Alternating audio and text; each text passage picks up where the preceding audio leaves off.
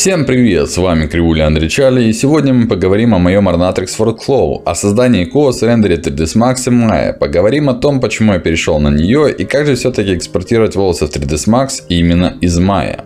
Для урока вам понадобится скрипт Braid Maker, который можно купить, перейдя по ссылке на моем блоге в материал Photots. Нажав на ссылку, вы откроете Gumroad Akash CGI и здесь сможете приобрести данный скрипт.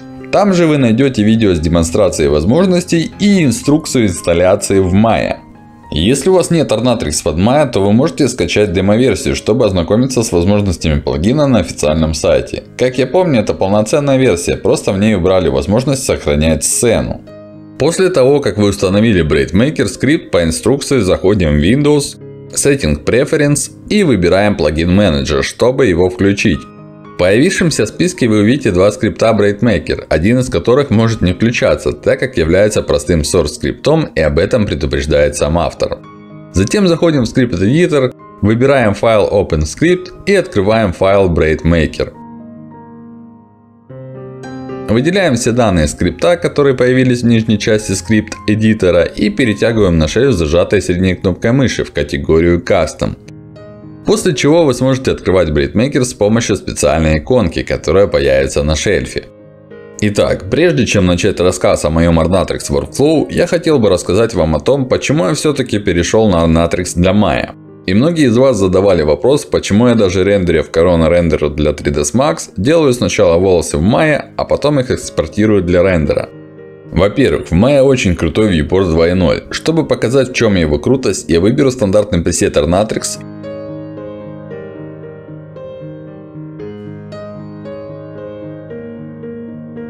Удалю несколько гидов.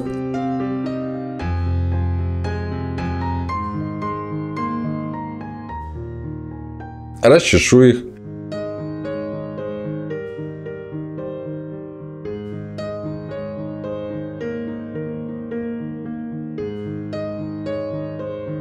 Добавлю несколько гидов, чтобы закрыть все пробелы, которые явно видны. Кстати, в новой версии Natrix вы уже можете рисовать гиды, но об этом поговорим позже, так как данную часть видео я еще писал, когда этой возможности не было. Сразу хочу предупредить, что я не буду прям подробно разбирать каждый модификатор, так как это все уже можно посмотреть в уроках для 3ds Max. Ведь Ornatrix Maya похож на версию для него, и все модификаторы работают по тому же принципу.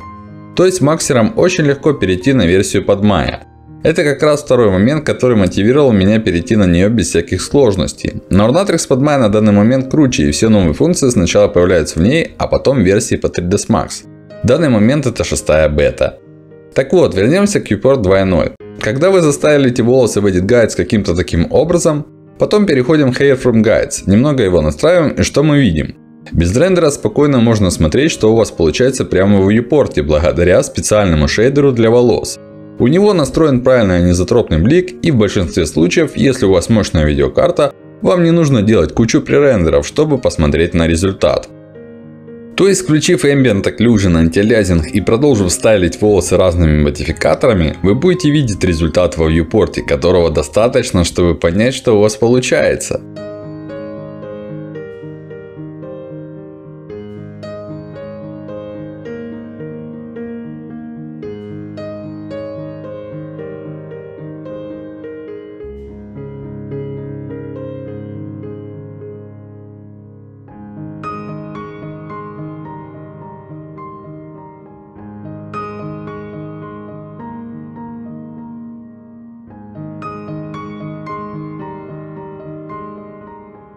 Причем вы можете добавить стандартные источники света и увидеть результат с настроенным освещением.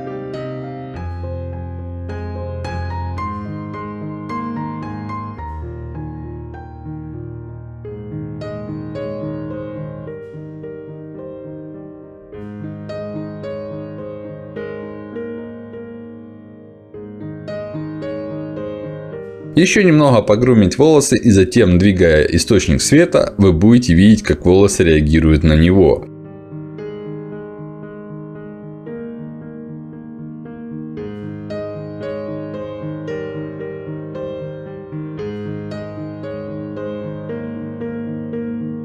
Вы даже можете немного настроить этот шейдер и получить какой-то другой результат.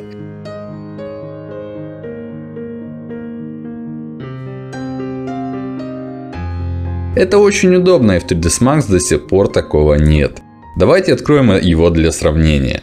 С вами был Кривуля Андрей Чарли. Нажимайте палец вверх, если вам понравилось данное видео. Подписывайтесь на канал, чтобы не пропустить новые выпуски. А также включите колокольчик рядом с подпиской для уведомлений. И конечно же делитесь данным выпуском через кнопку поделиться. Всем мир!